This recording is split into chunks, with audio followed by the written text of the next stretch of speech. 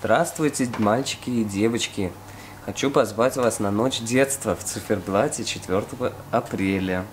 И сам расскажу небольшую историю, и вы приходите со своими историями. Однажды, когда мне было мало лет, и я был еще совсем ребенок, я жил на улице Обручевой, ходил в школу номер 46, а напротив школы стоял лес, который мы называли негритянский, потому что в нем жили бомжи-наркоманы из института Патриса Лумумбы, точнее, дружбы народов, которые некоторые студенты, не справившись с учебой, оставались жить в лесу. Но лес этот был славен многими интересными персонажами и обитателями. Например, иногда в нем появлялась женщина Алиса с бородой из соседнего дурдома, которая ходила и странно улыбалась. Но это не самый яркий образ. Самый яркий образ был маньяк-анонист.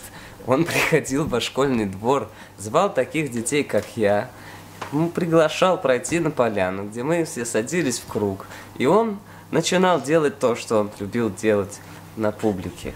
Это я посещал эти мероприятия около семи раз – но потом как-то жизнь завертелась, я стал взрослее и перестал ходить. Но услышал однажды, что наши ребята подросли и избили бедного маньяка. Вот. Но тем не менее, слухи о нем ходят до сих пор. Вот такая история. Приходите на ночь детства.